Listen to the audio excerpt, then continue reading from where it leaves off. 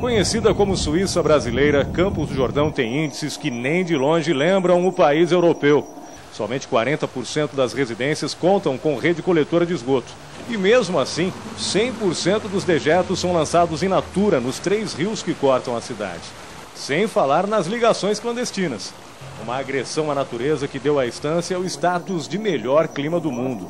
Incomoda, com certeza. Ai, é muito feio. Quando chove, ele, ele enche, vaza a água para fora, cai no meio dos carros, tudo. Desprezo com o meio ambiente que deverá acabar em três anos. Em 2011 será construída nesta área, equivalente a 60 campos de futebol, uma estação de tratamento. A Sabesp vai investir 106 milhões de reais na obra. Segundo a prefeitura, a despoluição será feita por membranas filtrantes e lodo aditivado. É um sistema super avançado, de uma tecnologia muito interessante, uma tecnologia inovadora.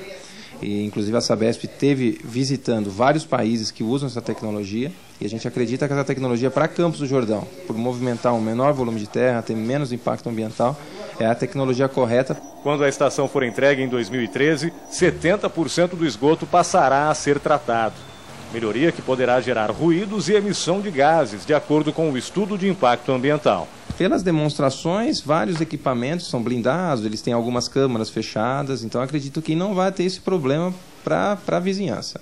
Mas esse não deverá ser o único problema. Assim como no bairro Lagoinha, esta área destinada para receber o projeto também fica bem próxima de três condomínios residenciais de alto padrão.